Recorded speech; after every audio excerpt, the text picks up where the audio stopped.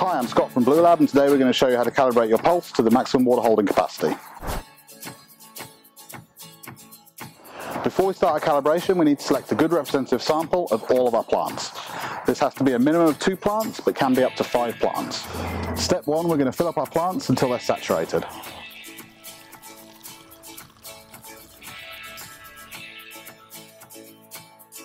Step two, we're going to let all the pots free drain for at least an hour.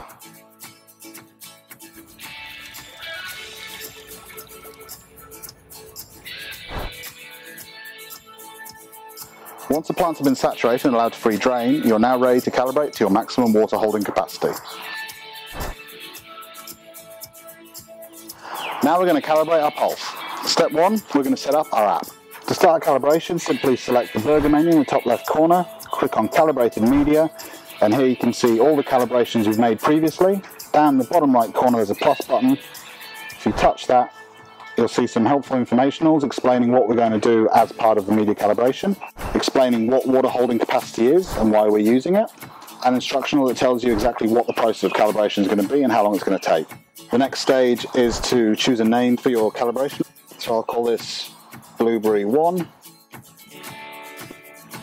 Then you need to select your media. We're using a normal potting mix, so I'll just select a mixed media. Step two, we're going to start measuring our selected pots. When you're taking your measurements in your calibration, you want to take them at the same depth that you will normally be using when you're using the device. So because we're using two plants, we're going to take three measurements per plant for a total of six measurements.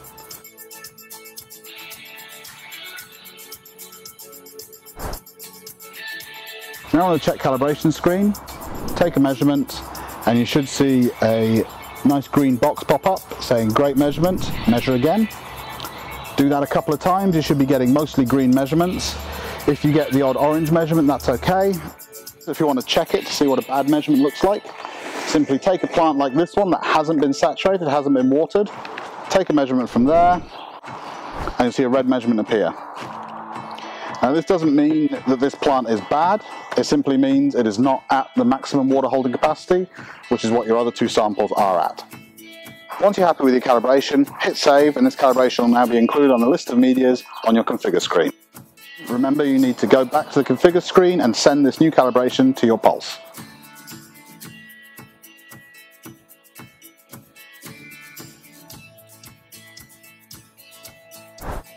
In summary, to create a custom calibration, simply select two to five plants, saturate these, leave them to free drain for at least an hour, go to your app, select calibrated media, follow the instructions taking three measurements per plant, check your calibration and hit save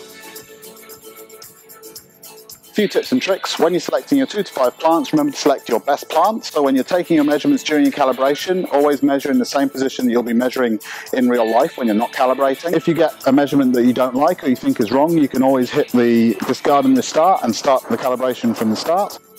And if ever you've got any doubts, you can just hit the back button and see all the helpful tips that we have at the start of the calibration process. That's all, good luck and happy calibrating.